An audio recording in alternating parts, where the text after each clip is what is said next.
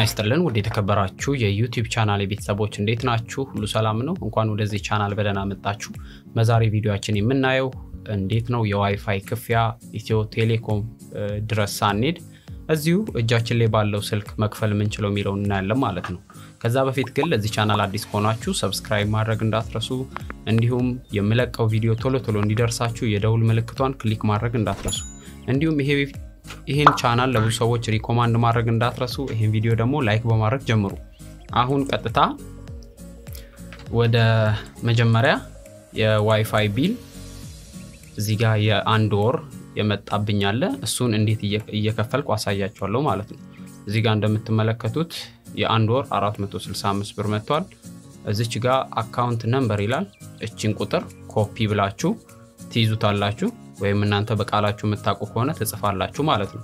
እሺ ቀጥታ ወደ መደወያው ላይ እንሄድና ኮከብ 889 ብለን የኢትዮ ቴሌኮም የ mobile banking እንደውላለን ማለት ነው።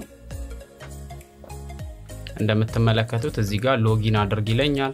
exit ለማለት ደግሞ ሁለትን እኔ አንድን እነካለው ከዛ send ከዛ እዚህ ጋር PIN code አስገባ ይለኛል። እኔ የራሴን PIN code አስገባለሁ። የራሴን PIN code አስገብቼ send እላለው እንደምትመለከቱት እዚህ ጋር አምስት option ያመጣል።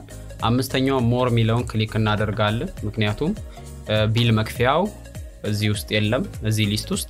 ስለዚህ more የሚለውን አምስት የሚለውን እነካለን ማለት ነው። እንደምትመለከቱት አንድ ቁጥር utility payment የሚል አለ እዚህ ውስጥ ነው ያለው። ከዛ አንድ ቁጥርን click በማድረግ send እንላለን።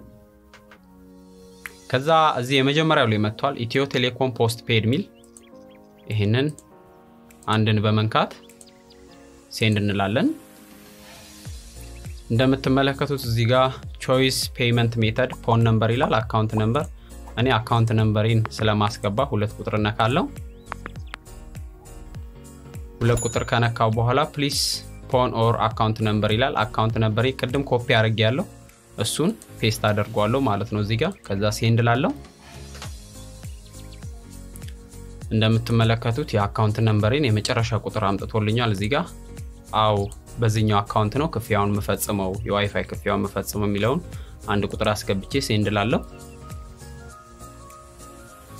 ከዛ እንደምትመለከቱት system ኡ connect ስለሆነ ወዲያው አመጣልኝ። እዚህ system ላይ ያለ 465 ብር አለ። አሁን ከባንክ የሚቆረጠው 465 ብር ይቆረጣል። please enter remark ይለኛል። ስለዚህ እዚህ ጋር confirm የሚለውን አንድ ቁጥር እነካለው። እንደምትመለከቱት please confirm one ይላል። ይህንን አንድ ቁጥር click አድርገዋለሁ። ከዛ send እለዋለሁ ማለት ነው። እንደምትመለከቱት ክፍያው ተፈጽሟል። ይኸው ኢትዮ ቴሌኮም አሁን ወዲያው text ላከልኝ ማለት ነው። እዚህ ጋርም እንደተፈጸመ ያሳያል። እንደምትመለከቱት system ኡ በፍጥነት ነው የመለሰልኝ። dear customer thank you having paid 465 ብር ከፍሏል። አሁን ምንም ክፍያ የለብም። amount zero ይላል ማለት ነው። ስለዚህ የኔ አሁን ወደ ታች ሄጄ ላሳያችሁ። ሊቋረጥብኝ already ሶስት አራት ቀን ነበር የቀረው። ስለዚህ እነሱ ጋር ድረስ ከመሄድ እንዲሁ በ mobile banking መክፈል ትችላላችሁ ማለት ነው። በቀላሉ በ mobile banking ተጠቅማችሁ በማንኛውም banking አለ። እኔ አሁን ያሳያችሁ የኢትዮ ቴሌኮም ነው።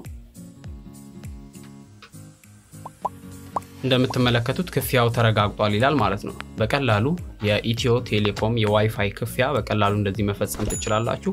በቀጣይ በሌሎች ባንኮች እየከፈልኩ አሳያችኋለሁ።